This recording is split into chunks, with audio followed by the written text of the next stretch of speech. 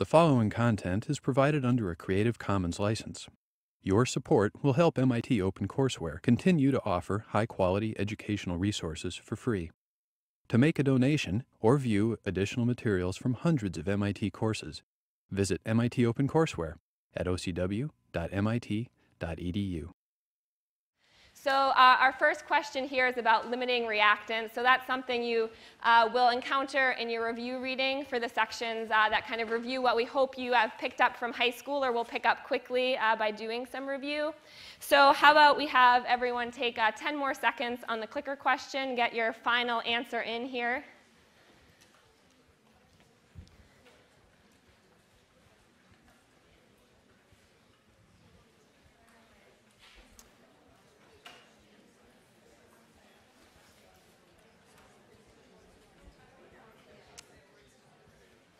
All right, so let's see what we have.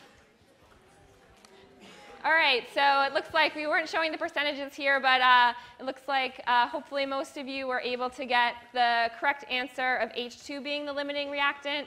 Uh, looks like we're still figuring out uh, this room was just renovated. We're still working out exactly how the electronics work. So normally we'll see a percentage of how many of you got it, but I'm going to say it was probably about 95% got the answer right. Uh, so good job there. Uh, if you didn't get the answer right, we'll send these questions to your TA. So anytime you get a clicker question wrong and you're confused, bring it up in the next recitation section and you'll be able to discuss it there.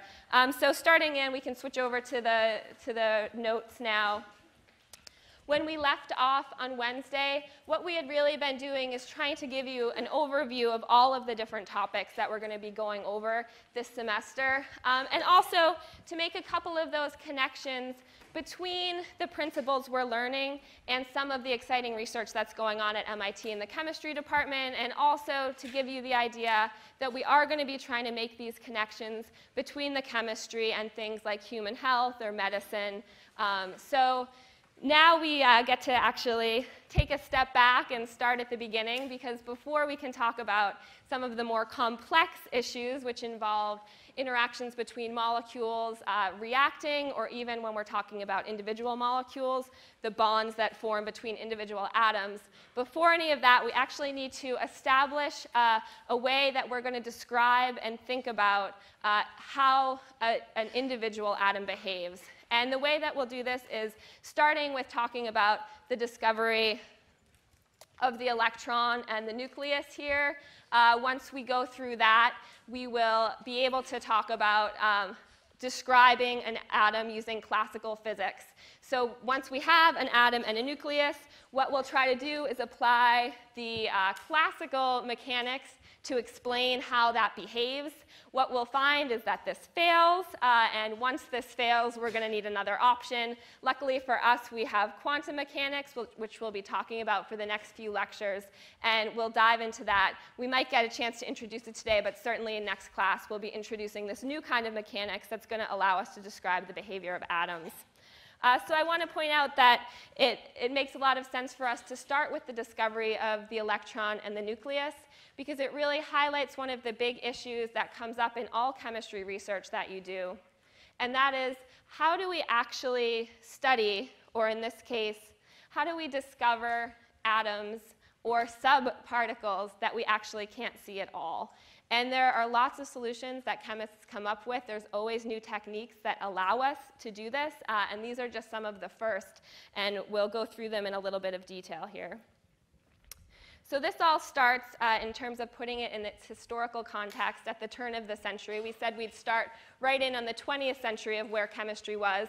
And where we were at the start of the 20th century in the late 1890s is that we were at a place where there was great confidence in uh, our understanding of the universe and our understanding of how all matter worked.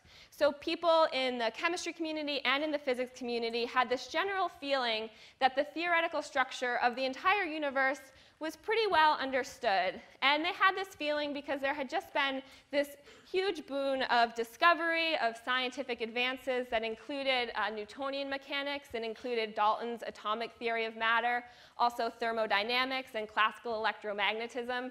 So you can understand they really felt quite confident at this time that we could explain everything that was going on. And in fact, a really telling quote from the time was said by a professor at the University of Chicago. And what he said is our future discoveries must be looked for in the sixth decimal place. So basically, what he's saying here is we pretty much understand what's going on. There's nothing new to really discover. All we need to do is measure things more precisely. So that's not exactly the case. And uh, we're going to start in at the point where, right around this time of great confidence, of uh, feeling all has been conquered, there are some observations and discoveries that are made that completely break down these theories.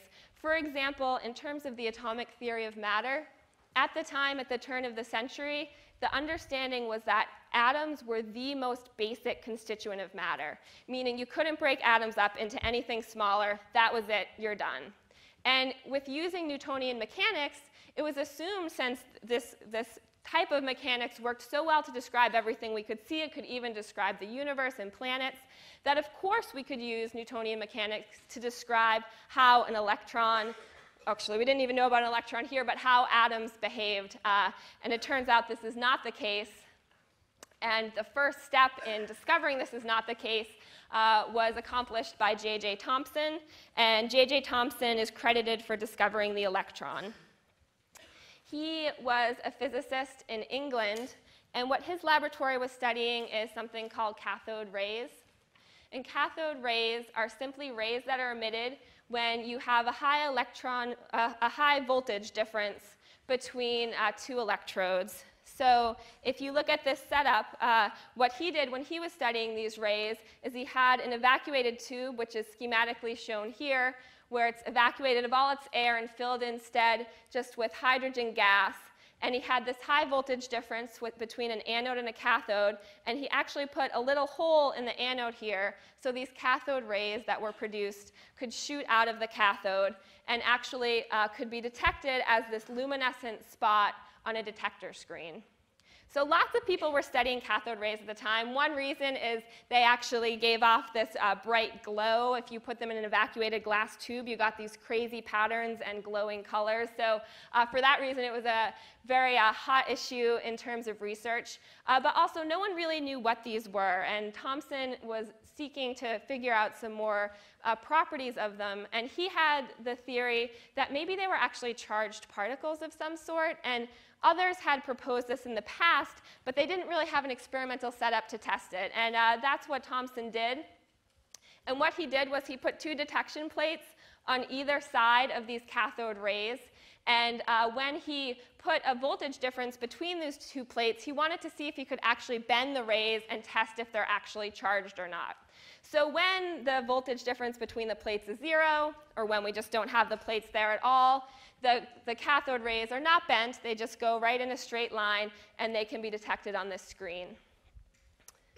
When he actually cranked up the voltage between these two plates, what he saw was really amazing to him, which is that he actually was able to bend these rays. This had never been observed before um, in any capacity, and he was able to detect on his screen that there was this deflection, and he could even measure uh, the degree of deflection that he had. So we know now that we have charged particles. Uh, are these negatively or positively charged based on this evidence? Yeah, that's right. So uh, what we have here, cathode rays, we now know are negatively charged particles. Uh, and in fact, he uh, named these negatively charged particles. Does anyone know what he named them? No, not electrons. Very good guess. He named them corpuscles. Has anyone heard of corpuscles?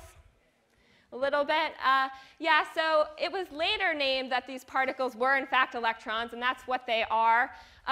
J.J. Thomson continued to call them corpuscles for many, many, many years after everyone else called them electrons, but I'm sure no one minded because he did in fact discover them. Um, and he was actually able to find out more than just that these were charged. From classical electromagnetism, he could actually relate the degree of deflection that he saw to the charge and the mass of the particles.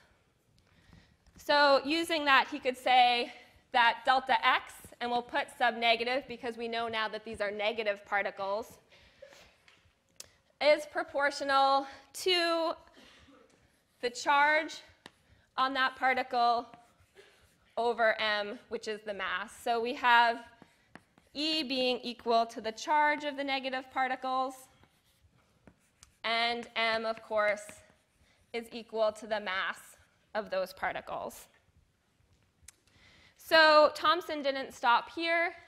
He actually continued um, experimenting with different voltages. And what he found was if he really, really ramped the voltage up between uh, those two plates, he could actually detect something else. Um, and what he could detect here is that there's this little spot of luminescence that he could see on the screen that was barely de deflected at all. Certainly in comparison to how strongly this first particle was deflected, the second particle was deflected almost not at all. Um, but what he could tell from the fact that there was a second particle at all and the fact that it was in this direction is that in addition to his negative particle, he also, of course, had a positive particle that was within this stream of rays that were coming out. So, of course, he can use the same relationship for the positive particle. So, delta x now of the positive is proportional to the charge on the positive particle all over the mass of the positive particle. So this is interesting for several reasons. Uh, what did he manage to pull out information-wise from uh, using these two relationships? Uh, and actually, to do this, he made a few more observations. The first, which I just stated, is that the deflection of that negative particle was just far and away uh, more extreme, uh, much, much larger than that of the positive particle. The other assumption that he made here is that the charge on the two particles was equal. So how could he know that the charge on the two particles was equal? And actually, he couldn't exactly know it. It was a very good uh, assumption that he made, and he could make the assumption because he, in fact, did know that what he started with was this hydrogen gas. So he was starting with hydrogen. If some negative particle was popping out from the hydrogen, then what he must be left with is H plus. And since hydrogen itself is neutral, the H plus and the electron had to add up to be a neutral charge. So that means the charges of the two pieces, the positive and the negative particle, must be equal in terms of absolute uh, charge.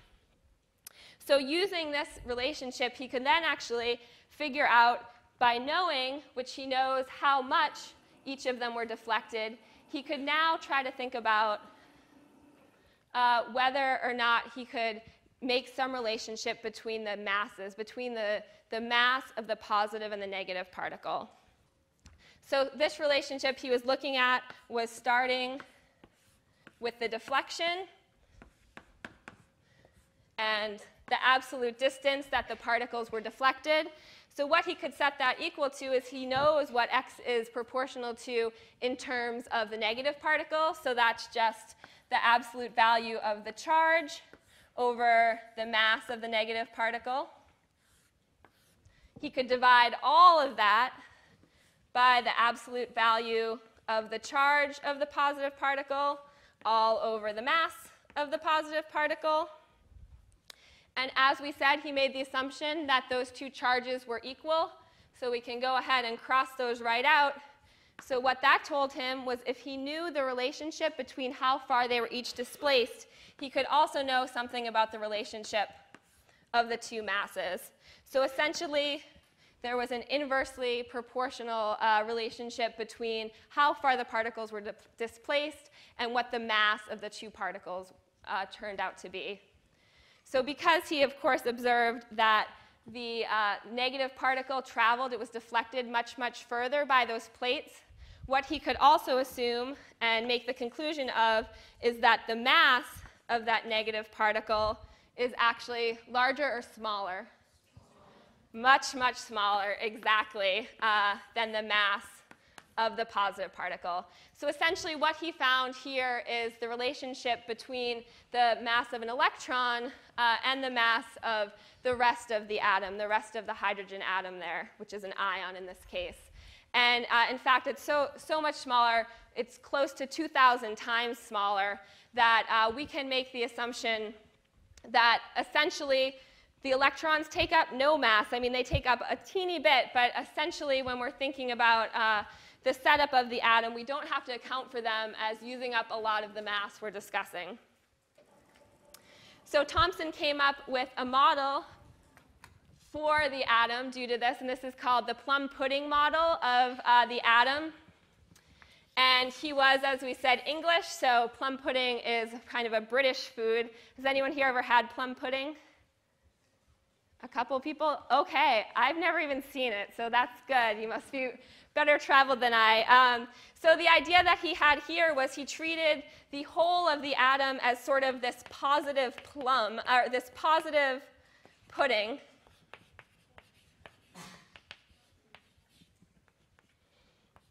So the majority of the atom was just kind of this goopy positive stuff that you could think about. And within the pudding, he had all these negative charges, which were the electrons and they were the raisins or the plums that were in the pudding. So this was a, a, revolutionary model of an atom when we thought of the fact that before this experiment, the understanding was an atom could not be divisible into smaller parts.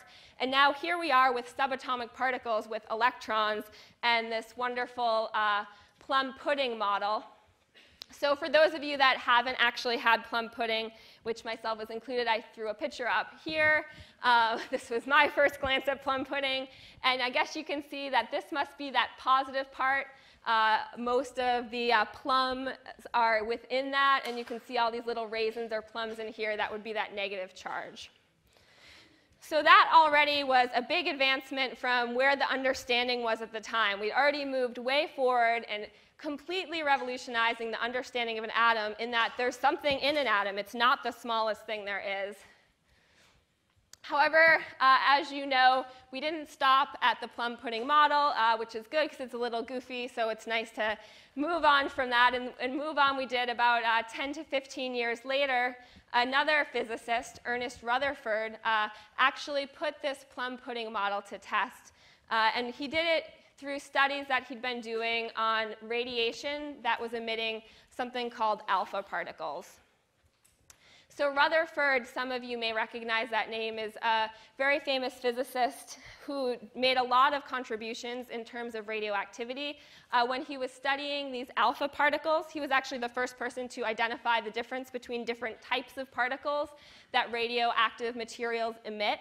Um, and uh, he got this particular material that he was studying, radium bromide, from his good friend Marie Curie, who obviously also uh, was a leader, uh, really the leader in uh, figuring out much of how radioactive materials work. She has two Nobel Prizes for her work in uh, radioactive materials. And something that maybe many of you think, which I know I always think when I hear about radioactivity studies in the early 1900s, is oh my gosh, this sounds really dangerous, right? They're using radium bromide, and this is a pretty dangerous radioactive material. So uh, for those of you that don't know, radium is extremely radioactive, even in the range of radioactivity. Uh, and one of the major problems with it is that if it does get in your body, the radium is treated as calcium in your body. So you can imagine what happens is it gets deposited into your bones, which is not the uh, ideal situation uh, after a long day in the lab. Um, so, you know, this is really a pretty dangerous situation. That's always interesting to point out. He got this from Marie Curie. You can imagine they used the postal service. I'm not sure how else they would have transferred it to each other. Uh, so it really brings up some issues. The, the first thing I did when I heard this is actually look up to see how, in fact, Ernest Rutherford did die in 1937. And you'll be happy to know it actually wasn't from radiation poisoning or from bone cancer. So that's really good uh, that that worked out okay for him. Um, and that he did get to sort of safely at least end his life before the radiation ended it. But it's really interesting the studies that he did do with radium uh, bromide, and he was studying the alpha particles. And what was known about alpha particles at the time is that they were these charged particles and that they were very heavy. Does anyone know more than what Rutherford knew at the time what alpha particles actually are? Yeah, good. So uh, they're actually helium atoms, helium ions.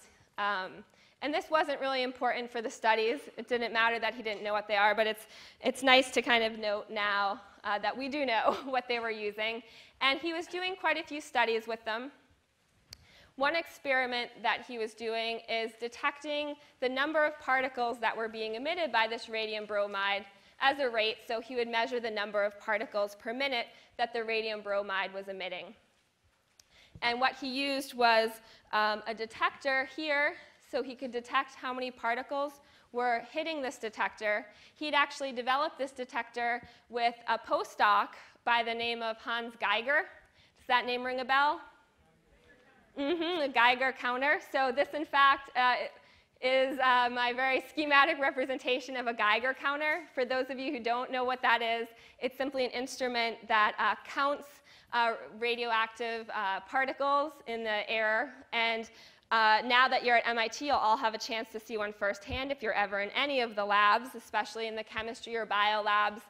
As, as carefully as people work with radioactivity here and using often much, much safer radioactive materials than radium bromide and using them in special hoods and having special procedures, they still do a lot of checking with these Geiger counters to make sure everything's safe. Uh, you'll actually see a man walking around with one, sometimes in the halls, just kind of like this. You hear that click, click, click. That's a good sound. It means low levels of radiation.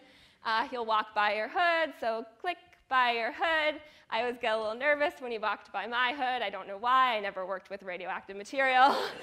but I was convinced I'd hear the click, click, click, click, click, which is what tells you you're in trouble. Um, so I've never heard the click, click, click, click, click. Uh, and we might uh, bring a Geiger counter in here sometime later in the semester so we can check all of you out. Uh, and hopefully we won't hear any when we do that either. So one thing that he discovered with this detector initially, and he was the first to discover this, is that radioactive material, including radium bromide, have a characteristic rate that they emit uh, radioactive decay.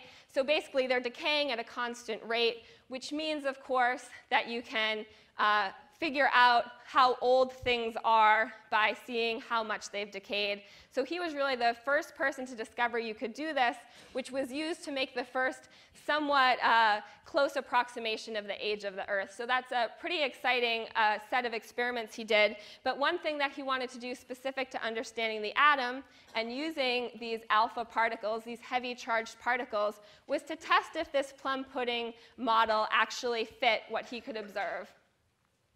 Um, so what he did was he first recorded the count rate of radium bromide before it's going through any kind of uh, plum pudding atom. And he found that it had a count rate of 132,000 alpha particles per minute were being detected by this uh, Geiger counter. He then set up a situation where he put a very, very thin uh, piece of gold foil right in, this, in what would be in the stream of the alpha particles. So uh, it was only 10 to the negative 9 meters thick, so about 1 nanometer. So that's really thin. It's thinner than a strand of hair. So you can imagine we actually don't need to think of it as a piece of gold foil. It might be easier to think of it as a couple of layers of atoms. So basically, he's trying to put some atoms in the way of the alpha particle. And what he would expect is if this plum pudding, plum pudding model is true, nothing's really going to happen to the particles, right? They should go straight through because if they hit an electron, those are so small. We, we figured out the mass is so tiny that it shouldn't really deflect them very much. Um, and of course, all that's left is this positive pudding. so that's not going to do anything either. Uh, and what he found when he did this exper experiment was that the count rate was still 132,000 uh, counts per minute. So what he could conclude thus far was that this was really consistent with the plum pudding model. All of his heavily charged alpha particles were going right through this thin layer of gold atoms. So you might think that he would stop his experiments here, and maybe he would have. Uh, but as I mentioned, he did have a postdoc working with him uh, by the name of Geiger. He also had an undergraduate, we could say maybe even a UROP, working with him. And this was by the name of uh, Marsden was the name of this UROP. And Rutherford realized, you know, I have these two people that are very excited to work on this project. I don't need to spend time doing it. Maybe it's not the best way for me to spend time looking to see if I can find any bounced back particles since all the particles are accounted for. But, you know, this undergraduate's very eager to do it.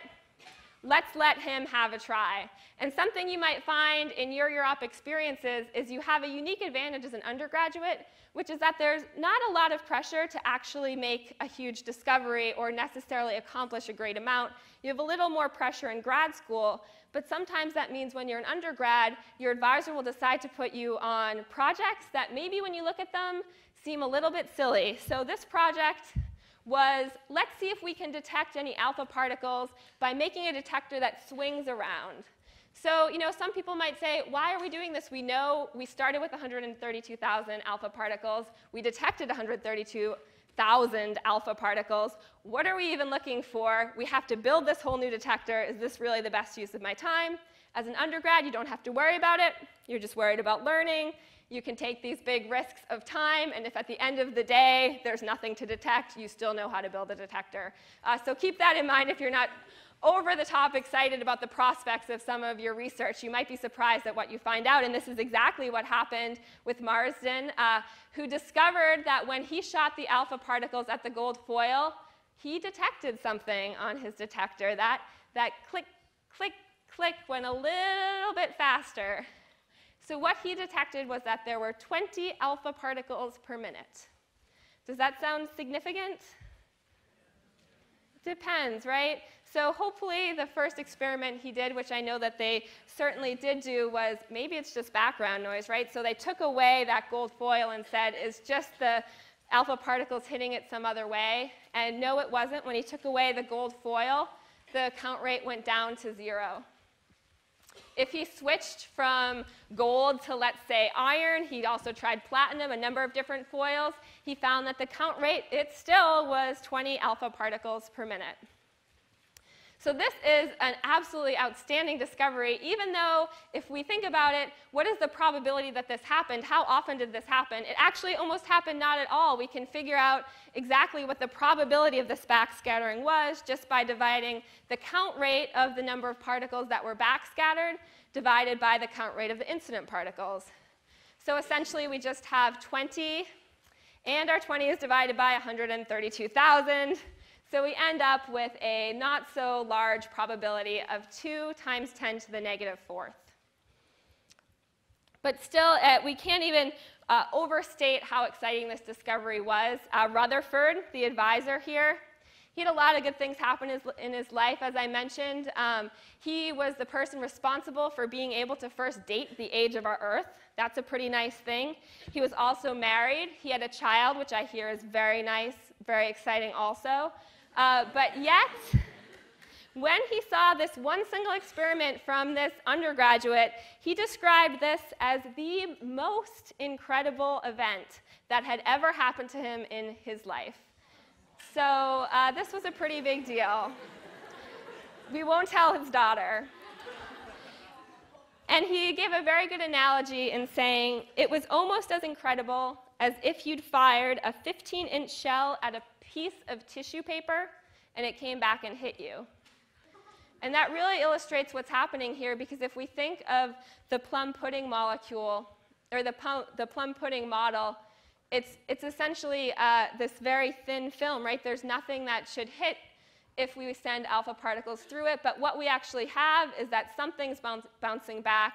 So what happened is Rutherford needed to come up with a new model for the atom uh, with several interpretations that came out of these experiments. Um, and some of these interpretations were that, of course, we now know that these gold atoms, they must be mostly empty. And the reason that we know that they must be mostly empty is because all but 20 of these 132,000 uh, particles went all the way through. So they, they weren't hitting anything. We're dealing with mostly empty space. But he, he also realized that when they did hit something, what they hit was unbelievably massive, uh, but also that that mass was concentrated into this very, very small space. So eventually, uh, this is what we've come to call the nucleus of an atom. And the nucleus name was used as an analogy to the nucleus of a cell. So uh, in some ways that makes it easier to see the connection, but I think it can also be a little bit confusing uh, for maybe seventh graders that are learning both at the same time, uh, that this nucleus acts very different from a nucleus in a cell, although of course there are many of them in the nucleus of a cell. There are some other things that Rutherford was able to figure out. One is the diameter of the nucleus, and that turns out to be 10 to the negative 14 meters. If we think about the size of a typical cell, uh, excuse me, now I'm getting confused about nuclei. If we think of the size of a, a typical atom, we would say that would be about 10 to the negative 10 meters. So we can see the diameter of a nucleus is absolutely, absolutely smaller, really concentrating that mass into a very small space. So you might be asking, how did he actually figure that out? We'll do the calculation ourselves. In fact, we'll do the whole experience, experiment ourselves, minus the radioactivity in just a minute, so we'll be able to answer that question for you. Uh, he also figured out that the charge of the nucleus was uh, plus ZE. This makes sense intuitively as well because Z is just the atomic number. So let's say we have an atomic number of 3. That means we have 3 electrons. So we better hope to get our neutral atom that we have a charge of plus 3 in the nucleus. So I mentioned at the beginning while he was working with this radium bromide uh, that I was very uh, relieved to see that it did not kill him to do these experiments. Uh, however, I think I will share with you that the cause of his death was in fact related uh, to his research here, even though it was a little more tangled up. So what happened, of course, after he discovered the nucleus, not surprising, he won a Nobel Prize for this. I would hope that he would. Uh, and in addition to winning a Nobel Prize, he was also knighted, which was a nice bonus for you know, someone born in England. That's a great thing to happen to them. Uh, the problem that he ran into is at some point a little bit later in his life, he had a hernia, which was a pretty uh, standard case, but what he was going to need was an operation on it. And the glitch came that, at least at the time, if you were a knight, you could only uh, be operated on by a, a doctor that was also titled. So Rutherford had a little bit of waiting to do for that doctor to show up. And it turns out the wait was too long, and he actually passed away because he discovered the nucleus and got a Nobel Prize and became knighted. So it's still, it's still dangerous. Um, if that opportunity comes up for you, you maybe want to check into the policies of how that works with the doctor situation now. Hopefully, they've cleared it up a little bit. So what we want to do now is see if we can understand how this backscattering experiment worked. Uh, so we will do our own backscattering experiment. Uh, and we'll ask you to imagine a few things. Uh, first is that we have this monolayer of uh, gold particles. So let's see if Professor Drennan is able to help us out here. Oh, great.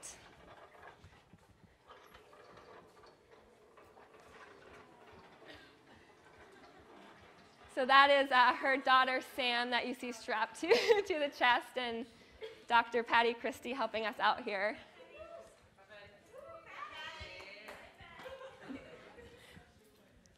All right, so uh, we'll move this up to the front in just a minute, but I'm going to explain how this experiment works, and we'll do the calculation first before the excitement breaks out. Uh, but I'm sure you can easily see how these styrofoam balls could, in fact, be a monolayer of gold nuclei. We have 266, as uh, some of you might know who saw me counting uh, ping pong balls the other day in office hours. We have 266 ping pong balls, and we need someone, hopefully you, to be some radioactive material that are going to be emitting these ping pong balls. Uh, and when the time comes, in just a minute, I'll ask the TAs to come down uh, and hand these out very quickly to you so we can do this experiment. But first, let's go through how we're going to determine what Rutherford determined, which was he was interested in knowing, which we said what the diameter of the, of the nuclei were. So we're going to do the same thing and figure out the diameter of uh, these styrofoam uh, balls here. And we can do it by using the relationship of how many backscatter. So if we think about the probability of backscattering, which is the exact same thing that we saw uh, Rutherford calculate using the 20 divided by 132,000. But in our case, the probability of backscattering is going to be the number of balls that backscatter. And that's going to be divided by the total number of ping pong balls. So do you remember what that was? 266. Good information retention. All right. Uh, so we have the probability here. Uh, so in terms of the number of balls scattered over the total, we can also relate the probability to the area of all of those nuclei divided by the total area that the atoms take up. Right, this makes a lot of sense because if the entire atom was made up of nuclei, then we would have a 100% probability of hitting one of these nuclei and having things bounce back. Uh, so here we have the area of the nuclei we'll figure out, adding those all together, versus the space of all of the atoms put together. So, you know, not only did uh, Professor Sayer, who's in the chemistry department, who put together this contraption uh, for all of you, not only did she magnify the size of these gold nuclei, but she actually had to smush all of these atoms closer together than they normally would be. If, in fact, a gold nucleus was this size here, we would need to use another lecture hall in order to find a place to put this nucleus right here. This is a little bit of a tricky experiment, so we decide we'll just smush it all in and we'll actually be able to account for it because we'll take into account the area of all of those atoms. Oh, I think this board does not like to go by itself. All right, um, so we can figure out what that is. The area of all of the nuclei is going to be the number of nuclei times the area per nucleus. And we're going to talk about the cross section here to keep it simple. And all of that is divided by uh, the area of the atoms, which is 1.39 meters squared, measuring that space there. So the number of nuclei, if we were to sit and count these as well, is 119. So we'll multiply that by uh, just pi r squared to get that cross section and divide all of that by 1.39 meters squared. So what we have here is a relationship that can tell us what the probability of backscattering is. But what we want to pull out since we can experimentally measure what the probability is, what we need to pull out is the radius or the diameter of these of these nuclei. So we can just, instead of solving for p, we can switch it around and solve for the radius. So that's going to be equal to the probability raised to the 1 half times 6.098 times 10 to the negative 2 meters. So actually, just for discussion's sake, it makes little uh, more sense for us to talk about the diameter. So that's just twice the radius. So once we figure out what our probability of backscattering is, we'll just raise that to the 1 half, and we'll multiply that by 12.20 centimeters. All right, so now all we have to do is figure out this probability of backscattering. We know we need to divide by 266. But what we need you to help us with is to figure out this top number here and see how many uh, particles are going to backscatter. So if the TAs can come up and quickly hand out one particle to everyone and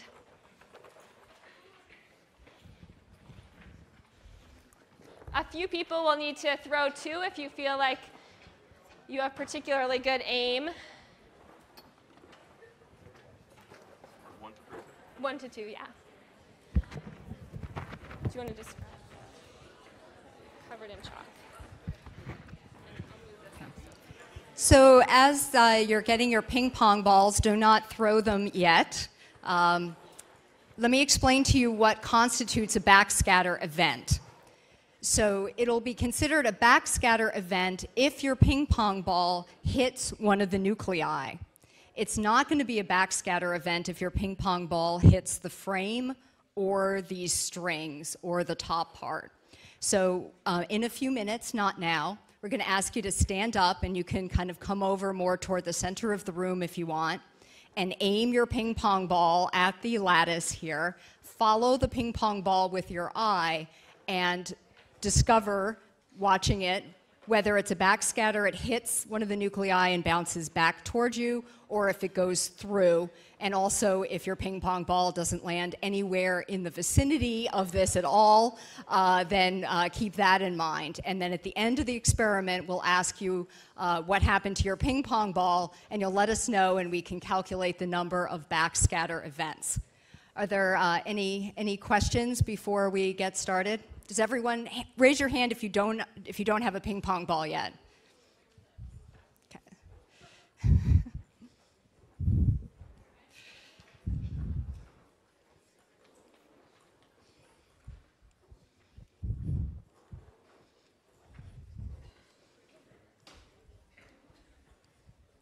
Any questions before we get started?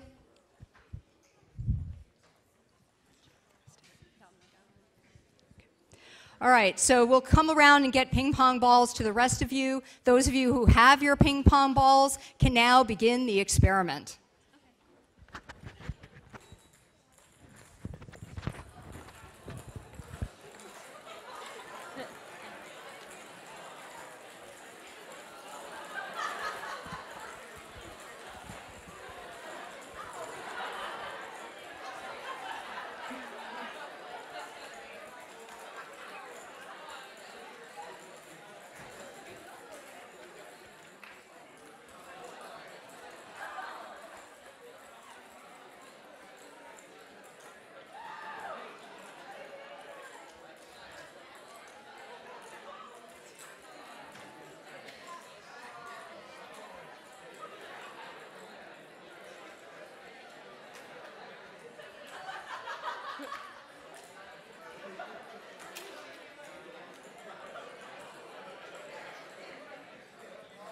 Any last shots? Here we go.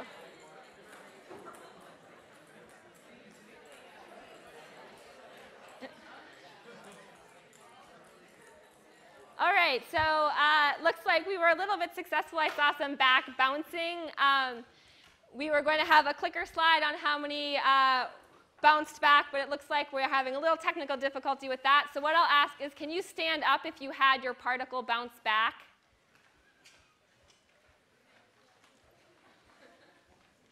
All right, so let's count how many we have here.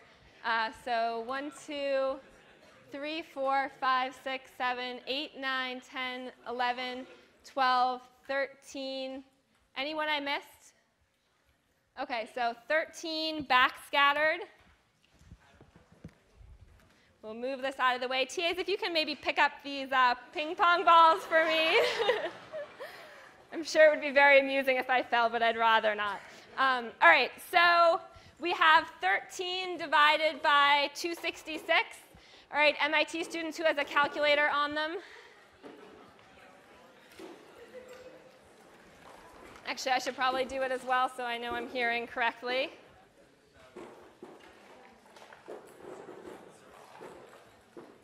So uh, are you getting 0.0489 or so? All right, so we've got our probability.